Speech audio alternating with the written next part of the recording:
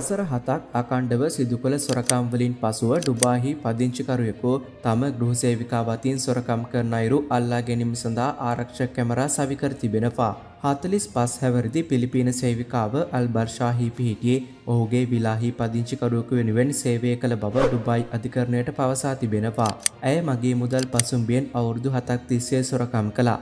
මෑතකදී ඇය මගේ මුදල් පසුම්බියෙන් ඩිරම් 17000ක් සහ මගේ බිරිඳගෙන් ඩිරම් 3000ක් සොරකම් කළා යයි නිල වාර්තාවල සඳහන් වේ. මෙම යුවලට සේවිකාවට එරෙහිව කිසිදු සාක්ෂියක් නොමැති වූ නිසා නිවස තුළ ආරක්ෂක කැමරා සවිකිරීමට තීරණය කළා.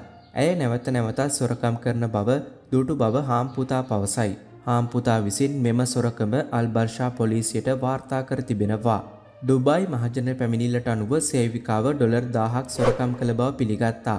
මෙම මස 27 වන දින තීන්දුවක් අපේක්ෂා කිරීමට නියමිතයි. කෙසේ නමුත් මේ වන විටත් පිලිපීන් එම්බසිය ඇයට දෙන දඬුවම සම්බන්ධයෙන් බලපෑම් කරමින් සිටින බවද ඔවුන් කෙසේ හෝ දඬුවම ලිහිල් කිරීමක් හෝ වන්දියක් එවා ඇයව බේරා ගැනීමට විවිධ ආකාරයේ ඇඟිලි ගැසීම් සිදු කරන බවද වාර්තා වේ.